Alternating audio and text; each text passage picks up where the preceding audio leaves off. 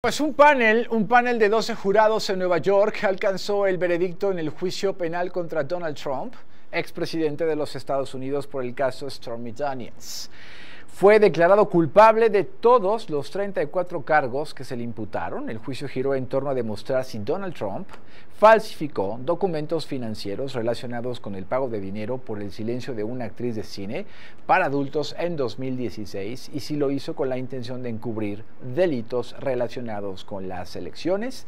Hoy el magnate neoyorquino eh, fue declarado culpable de 34 cargos de falsificar documentos para ocultar un pago de dinero a la estrella porno Stormy Daniels antes de las elecciones en 2016. ¿Qué escenario político, uh, jurídico enfrenta hoy Donald Trump, este eh, eh, expresidente norteamericano que quiere volver a contender en las elecciones de noviembre. Voy a hablar con Fausto Pretelín, él es analista internacional, escribe para el diario El Economista en México y yo agradezco que siempre que lo buscamos en Así las cosas en el Bajío, tome mi llamada. ¿Cómo estás, Fausto? Buenas tardes. Gusto saludarte, muy bien. ¿Y tú qué tal? Querido Fausto, siempre es un gusto recibirte, sabes que es tu casa.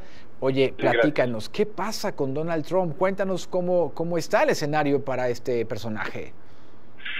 Bueno, mira, yo creo que ya el escenario, eh, si bien tiene un componente judicial muy importante, vendrá la apelación seguramente, pero ahora bien, eh, digamos que ahora está en la cancha de la política.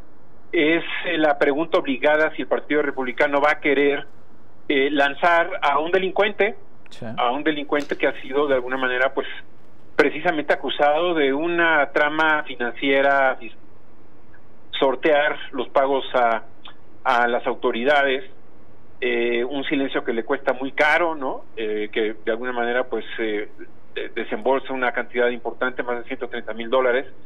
Pero eh, aquí la gran pregunta es esa, ¿no? Es decir, si el Partido Republicano va a aceptar lanzar a su, su candidatura, yo, yo, yo creo que es muy difícil porque hay moderados dentro del Partido Republicano que van a cuestionarse qué va a pasar el día después. Es decir, eh, el, Partido Republicano llegará a un momento en donde ya no esté Trump y en qué condiciones van a encontrar el Partido Republicano. Hay que recordar que desde 2016, por lo pronto, estaba en una crisis profunda. Donald Trump los ayudó, tomó prácticamente el control del partido y ahora es absolutamente suyo. Eh, pero ahí viene la disyuntiva, ¿qué van a hacer eh, es creo eh, pues una responsabilidad clave para los estadounidenses en el sentido de que Estados Unidos es líder en el mundo, tiene cierto liderazgo.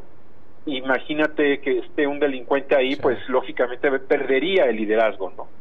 Claro, y además que presume, Fausto, Estados Unidos presume de un sistema de justicia eh, pues ejemplar, ¿no? E, ejemplar, y entonces de pronto, ¿qué mensaje eh, político, jurídico, comercial se lanza al mundo cuando tienes un, personaje con estas características en la candidatura y eventualmente, como ya ocurrió en el pasado reciente, dirigiendo la nación, Fausto. Así es, pues mira, es, es como un, un, personaje autócrata que está dentro de una maquinaria demócrata eh, o democrática, para no confundir con el partido. Y esta maquinaria democrática creo que de alguna manera pues eh, llega a funcionar, ¿no? Y en algún momento dado eh, lo logra parar. Eh, no estoy diciendo que ya que ya lo logró parar, pero de alguna manera ha incrementado el tamaño del obstáculo que le han puesto y pone pondrá a dudar a muchos a muchos que dudan por quién por quién votar, pero el Partido Republicano ahí se va a tener que cuestionar, ¿no? Es decir, Estados Unidos perdería mucho liderazgo, Estados Unidos daría muy mal ejemplo eh, al mundo teniendo un presidente a la altura pues eh, de, Donald Trump eh, con, con, estos delitos, ¿no? Es decir, Duterte, Bolsonaro, personajes autócratas que hemos conocido en el, pasado, pues con, con, algunos perfiles siniestros, yo diría como el de Duterte al menos, en Filipinas, eh, creo que en Estados Unidos, pues sí, es importante reflexionar para su país qué es lo que quieren, qué liderazgo quieren mostrar ante el mundo, porque pues aquí lo, va lo van a tomar a broma, ¿no? Es decir, los europeos, ya me imagino el canciller Scholz o, o la gente Macron o, o Giorgia Meloni o, vamos, de Bélgica, van a decir, ¿qué le vamos a hacer caso en serio a Donald Trump? Oye, Fausto es Fausto Pretelín, analista internacional, escribe para diarios tan importantes como El Economista y muchos más en México y fuera de. Eh, nos has dado un, boceto de, lo que políticamente significaría eh, mantener o continuar con las expectativas de Donald Trump rumbo a la, a la, elección presidencial. Oye, a ver, pero jurídicamente, este, Fausto, jurídicamente no, esto no le impide, no le bloquea la posibilidad. Yo te lo pregunto porque, insisto, luego Estados Unidos presume que tiene un sistema de justicia eh, ejemplar y, entonces resulta que estos antecedentes no frenan a, un, a un perfil y entonces se impone el poder político o el poder económico sobre el tema eh, jurídico. Jurídicamente, Fausto, con esta decisión, con estas condiciones que hoy enfrenta Donald Trump, ¿está imposibilitado o puede, o puede eventualmente ser el candidato republicano a las elecciones? Puede serlo, puede ser candidato, el sistema judicial se lo, se lo permite.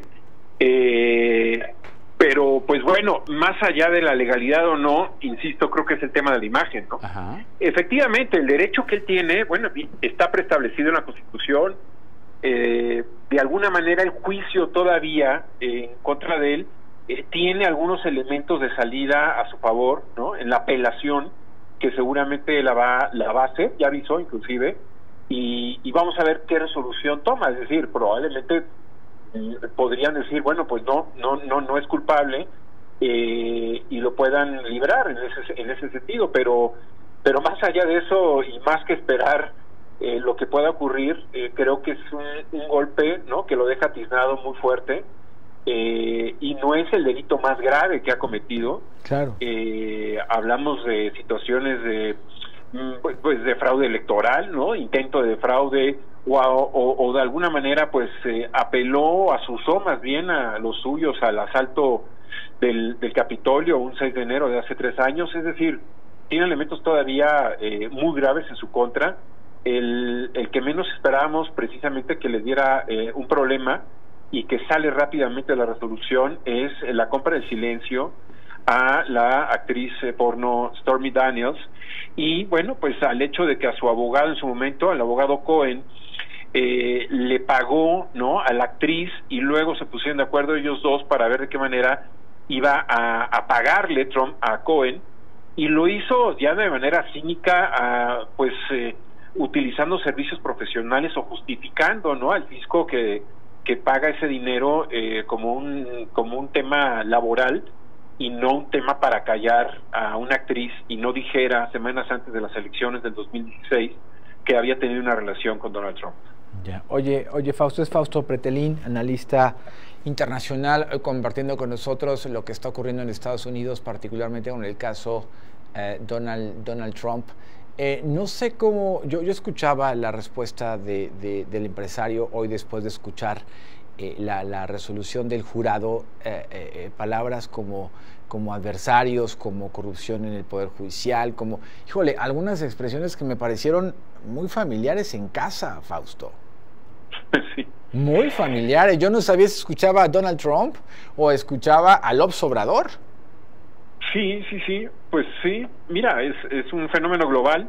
El populismo, lo que estamos viendo, la polarización, la, la obsesión por criticar a los medios, el uso de las redes sociales para polarizar más a la sociedad y Fausto. A ver, vamos a recuperarlo, ¿no? Por favor. Este, sí, no sé si, si, si ustedes escuchaban la forma en la que, en la que se expresó de la sentencia el, el expresidente norteamericano Donald Trump después de escucharla, pero yo dije, oh Dios, esas frases me suenan bastante conocidas. Estamos hablando de Donald Trump, de esta sentencia de un jurado neoyorquino que lo encontró culpable en, en 34 cargos eh, de, falsificación de pruebas, de pago de dinero ilegal, en un momento pues, de coyuntura, porque eh, está pronto, está próximo la fecha de definición de las candidaturas, tanto allá en Estados Unidos, bueno, busca la reelección Joe Biden por el Partido Demócrata, quien es el actual presidente norteamericano, y, lo que quiero revisar ahora con, con, con Fausto, este, sí gracias, gracias Fausto por, la, por, por, recuperar la llamada. Gracias. Decías que este tema de los medios, del uso de redes sociales, ahí nos quedamos. Sí, mira, te decía eh, que de alguna manera ya el, lenguaje que utilizan políticos se, se, asimila más al de las redes sociales y no se y no se dan cuenta que en la interacción del día a día la realidad no pues tiene un componente de, de responsabilidades ante la sociedad responsabilidades eh, eh, yo diría, cívicas de ser ejemplos, ¿no? Dentro de 20 años, eh, ¿qué, demografía va a decir yo quisiera ser presidente? Eh, al contrario, yo creo que va, va a tener un desprestigio como ya lo tiene en estos momentos. Oye, una cosa más, estimado Fausto. en la línea del tiempo, en qué momento ya, entiendo que pronto las elecciones son en noviembre, entiendo que pronto ya el Partido Republicano tendría que tomar definiciones. Eh, eh, ¿Cuánto tiempo falta para eso? ¿Le alcanzará a Trump para, para dirimir estos temas jurídicos o, el tiempo podría estar en su contra? Mira, en el mes de julio van a dictar ya la sentencia, eh, tres días antes del Congreso, que inicia formalmente la, pues el proceso electoral en Estados Unidos, el Congreso de los Republicanos. Eh, y de alguna forma la apelación que hará el, precandidato Donald Trump, su equipo de abogados, tiene como una línea de tiempo quizás hasta agosto para ver una resolución formal judicial de qué tan sólida es esta apelación, eh, si se integra ¿no? a este proceso o prácticamente se desecha. Ya, bueno, pues todavía quedan ahí un par de meses y poco más para que Donald Trump pueda seguir peleando jurídicamente y, convertirse en el candidato de los republicanos una vez más a la presidencia de Estados Unidos. Fausto, muchas gracias. Yo sigo, si me lo permites, buscándote. Te agradezco siempre tu disposición y, que compartas tu, información, tu análisis, tu, tu, expertise en temas internacionales con la audiencia de Así las Cosas en el Bajío por W Radio desde esta región del país. Gracias, Fausto. Un gusto, Héctor. Hasta pronto. Buenas tardes.